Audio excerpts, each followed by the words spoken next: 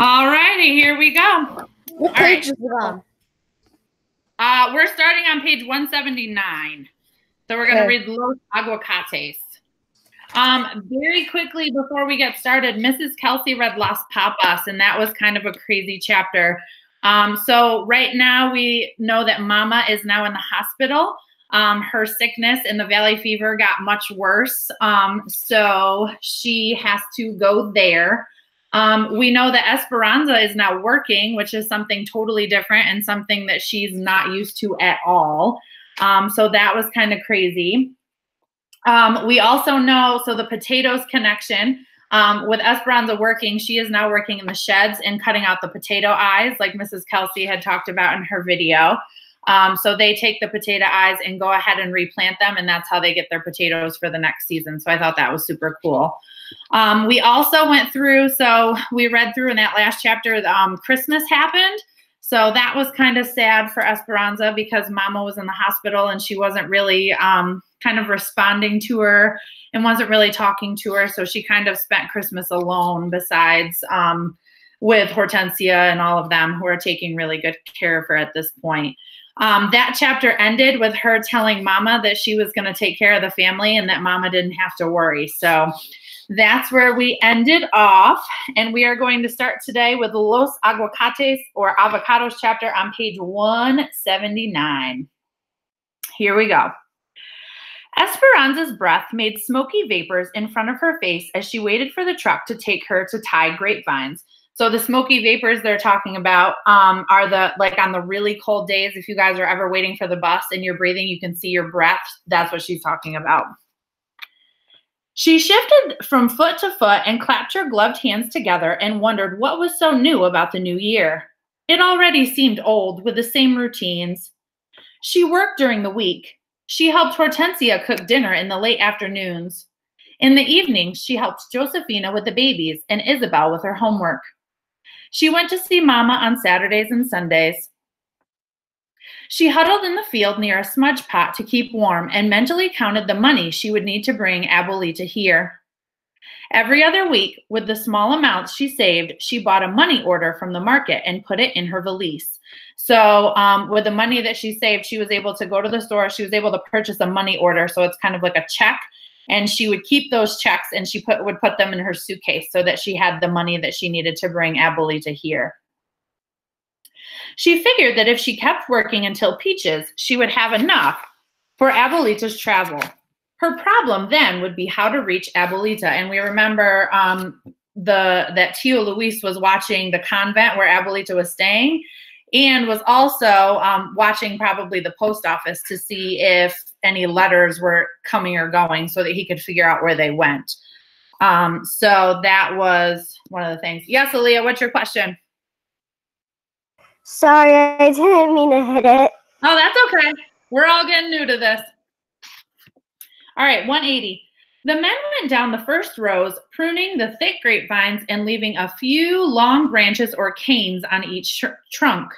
She followed along with others and tied the canes on the taut wire that was stretched post to post. She ached from the cold and had to keep moving all day long to stay warm. That night, as she soaked her hands in warm water, she realized that she no longer recognized them as her own. Cut and scarred, swollen and stiff, they looked like the hands of a very old man. Flint, did you have a question, buddy?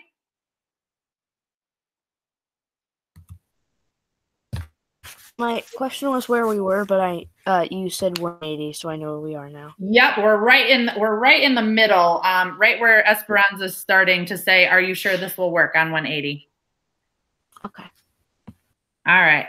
Are you sure this will work? asked Esperanza as she watched Hortensia cut a ripe avocado in half. Of course, said Hortensia, removing the big pit and leaving a hole in the heart of the fruit. She scooped out the pulp, mashed it on a plate, and added some glycerin. You have seen me make this for your mother many times. We are lucky to have the avocados this time of year.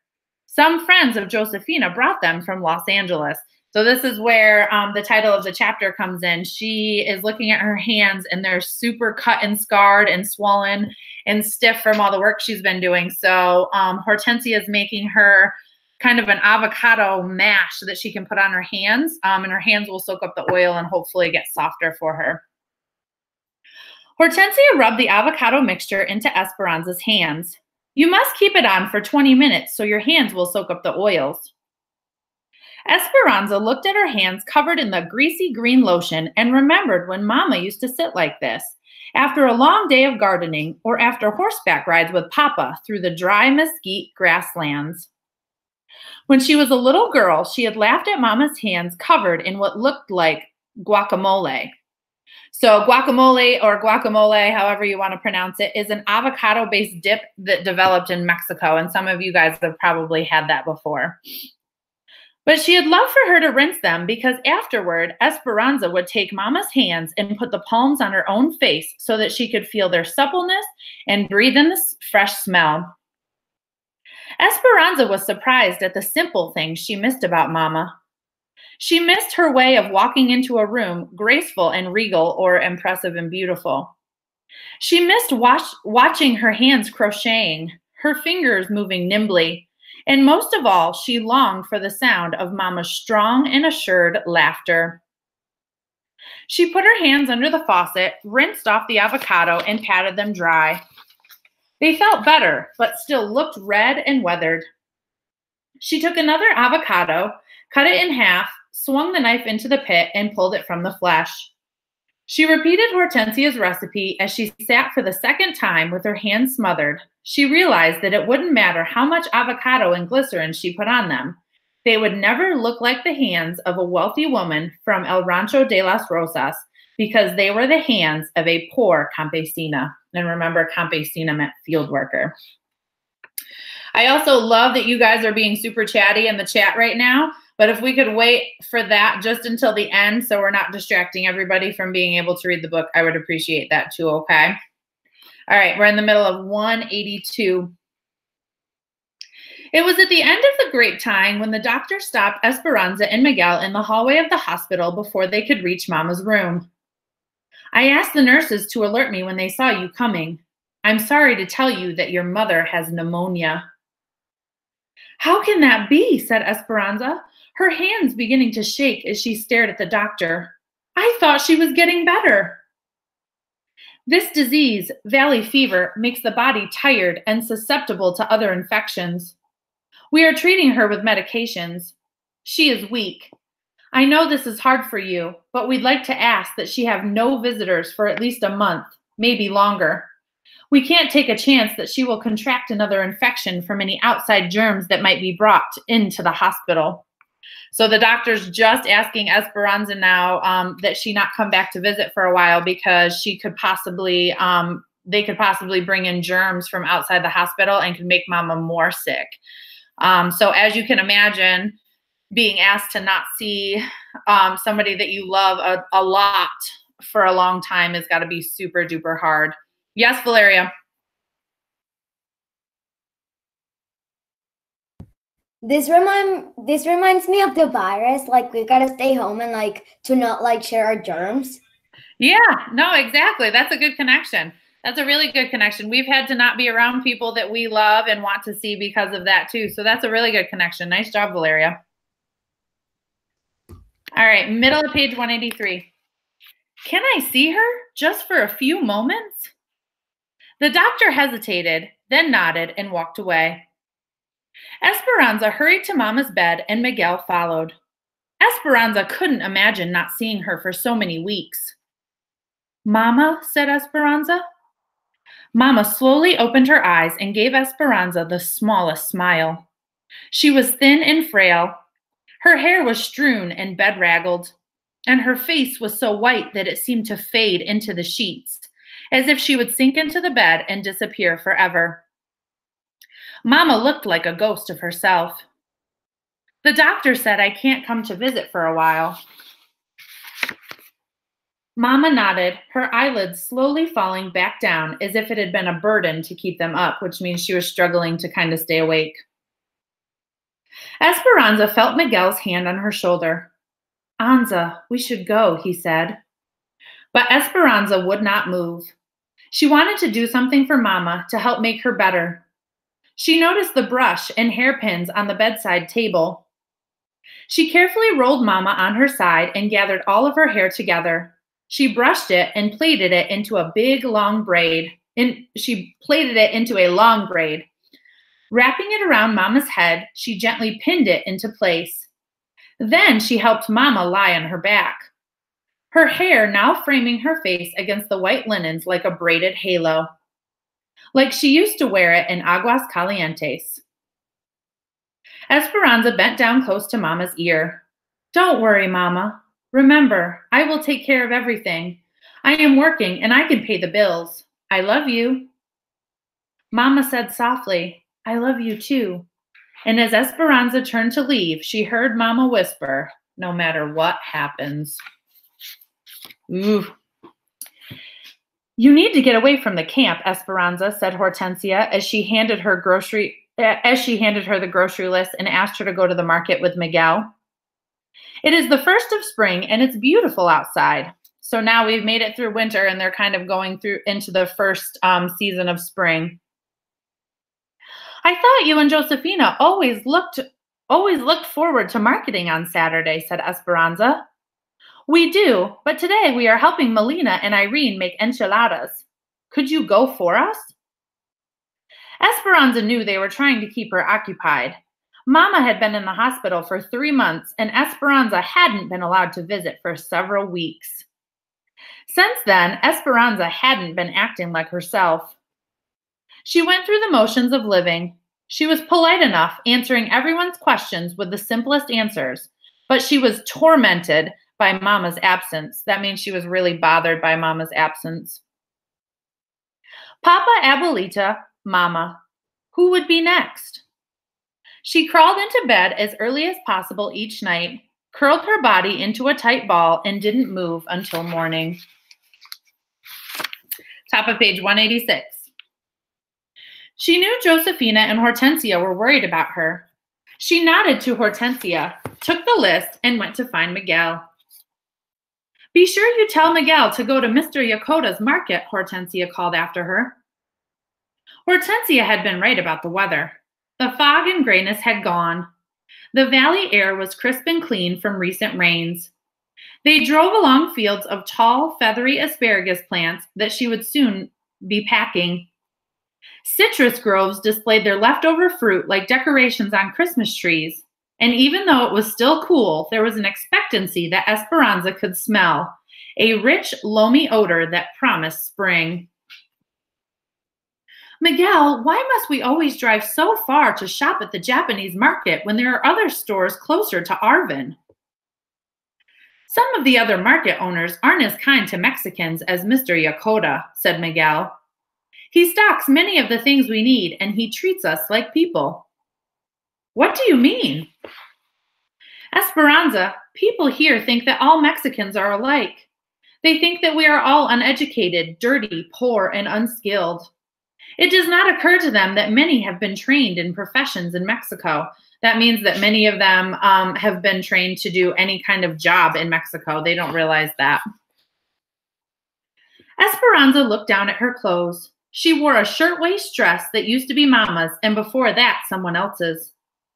Over the dress was a man's sweater with several buttons missing, which was also too big. She leaned up and looked in the mirror. Her face was tan from the weeks in the fields, and she had taken to wearing her hair in a long braid like Hortensia because Mama had been right. It was more practical that way. Miguel, how could anyone look at me and think I was uneducated? He smiled at her joke. The fact remains, Esperanza, that you, for instance, have a better education than most people's children in this country.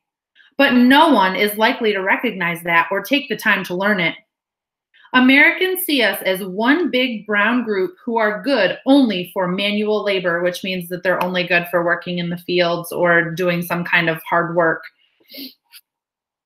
At this market, no one stares at us or treats us like outsiders or calls us dirty greasers. My father says that Mr. Yakota is a very smart businessman. He is getting rich on other people's bad manners. So a lot of the other um, markets and sellers that they go to um, are not as nice to the Mexican people as Mr. Yokota is. So he's saying that because Mr. Yokota is so nice to them, um, the Mexicans choose to go there and give him his business instead of where they would be treated badly, which would make sense. Miguel's explanation was familiar. Esperanza's contact with Americans outside the camp had been limited to the doctor and the nurses at the hospital but she had heard stories from others about how they were treated. There were special sections at the movie theater for Negroes and Mexicans. In town, people did not want their children going to the same schools with Mexicans. Living away from town in the company camp had its advantages, she decided. The children all went to school together white, Mexican, Japanese, Chinese, Filipino. It didn't seem to matter to anyone because they were all poor. Sometimes she felt as if she lived in a cocoon, protected from much of the indignation. And indignation um, is kind of is the feeling like you're angry or annoyed um, at the unfair treatment. So she was able to stay away from that because she stayed in the camp and stayed away from most of the Americans. Miguel pulled the truck into the parking lot at the market. I'll meet you. I'm going to talk about railroad jobs with those men gathered on the corner. Esperanza went inside. Mr. Yokota was from Tokyo, and the store had all sorts of Japanese cooking ingredients, like seaweed and ginger, and a fresh fish counter with fish that still had their heads. But there were Mexican products too, like masa de harina for tamales, and masa de harina is like a dried corn dough um, that they make tamales with chiles for salsa, and big bags of dried beans for frijoles, and that's like a bean dish from Mexico. There was even cow intestines in the meat case for menudo, or that's a type of Mexican soup that's made out of the cow's intestine. Um, kind of sounds weird, but I bet it's good. Valeria, have you ever had that before? Menudo? You have? That's awesome and other specialties like chorizo, which is a spicy pork sausage, and pig's feet. Esperanza's favorite part of the store was the ceiling that was crowded with peculiar combination of Japanese paper lanterns and pinatas shaped like stars and donkeys. There was a small tissue donkey that Esperanza had not noticed before. It was like the one that Mama had bought her a few years ago. Esperanza had thought it was so cute that she refused to break it, even though it had been filled with sweets. Instead, she had hung it in her room above her head. So she's reminiscing now back to a few years ago when Mama had bought her a pinata, um, a small tissue donkey pinata, and she didn't want to break it because she thought it was adorable. A clerk walked by, and impulsively, that means without thinking, she pointed to the miniature pinata. Por favor, she said, please.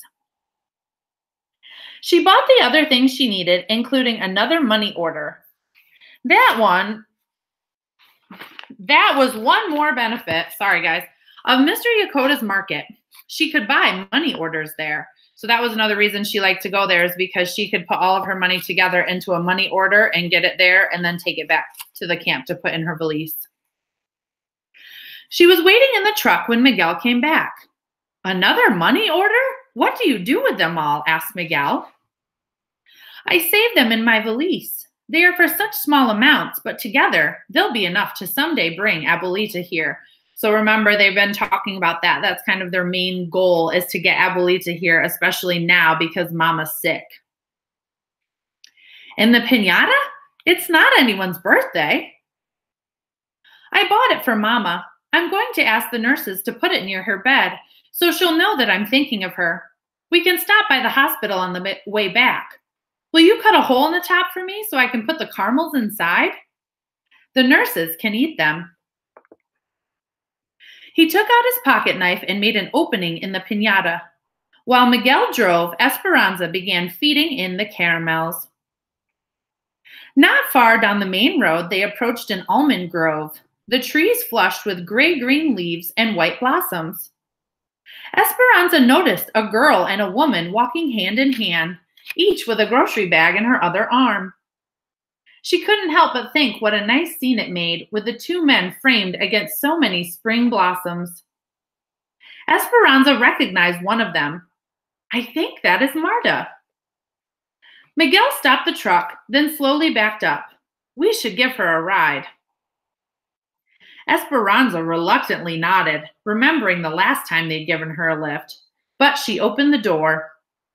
Esperanza and Miguel, que buena suerte. What good luck, said Marta. This is my mother, Ada. Thanks for the ride. Marta's mother had the same short, curly black hair, but hers was sprinkled with gray.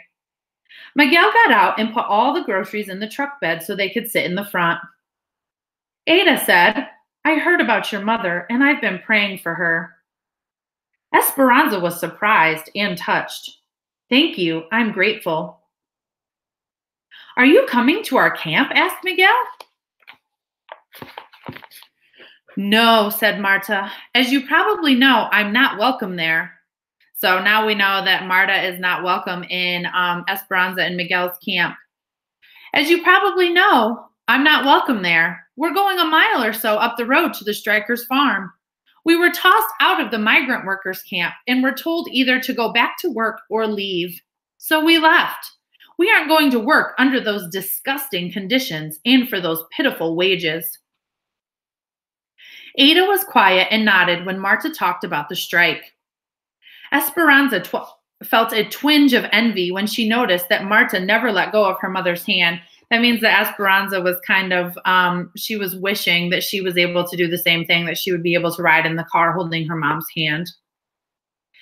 There are hundreds of us together at this farm, but thousands around the, co- the county and more people join our cause each day. You are new here, but in time you'll understand what we're trying to change. Turn left, she said, pointing to a dirt road rutted with tire marks.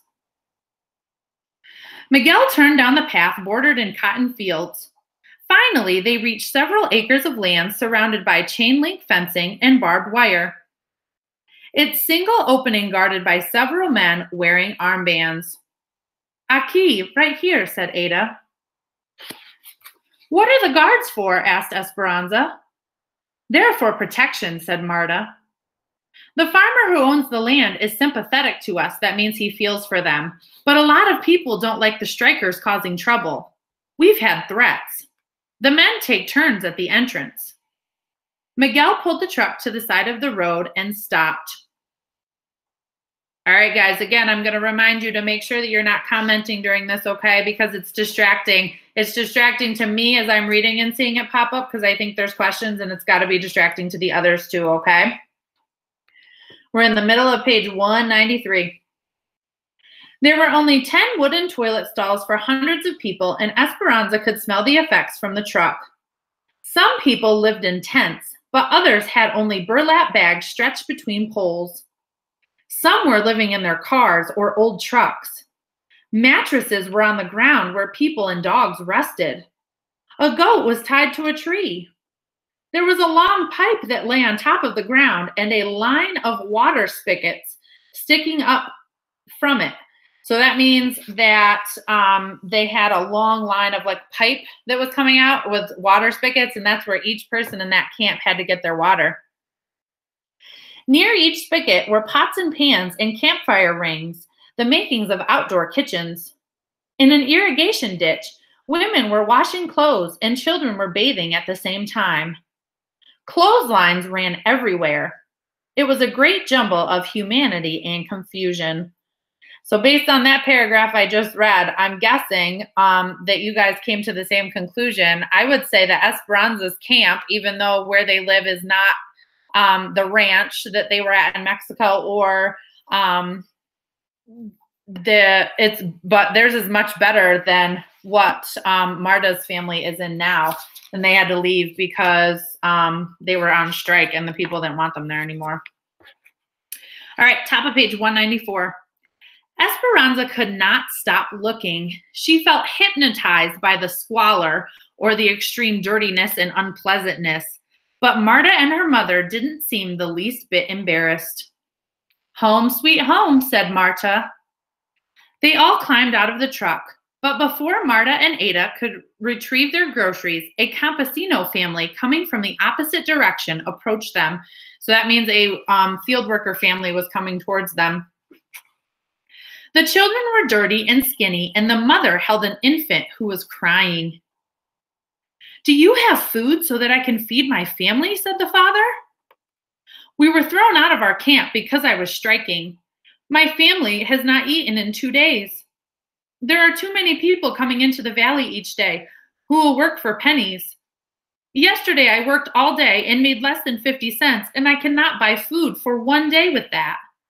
I was hoping that here, with others who have been through the same, you are welcome here, said Ada. Esperanza reached into the truck bed and opened the large bag of beans. Hand me your hat, senor. The man handed over his large sun hat and she filled it with dried beans, then gave it back to him. So that got me thinking, remembering to um, a little while ago, a couple chapters ago, when we read about Esperanza coming on the train and her, um, she opened her valise and the doll was out and she saw the um, the girl that she described, the little girl she described as dirty, come over and want to touch it.